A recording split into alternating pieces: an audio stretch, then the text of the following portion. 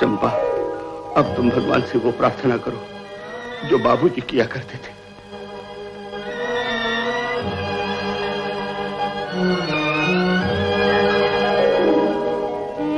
मालिक, तेरे बंदे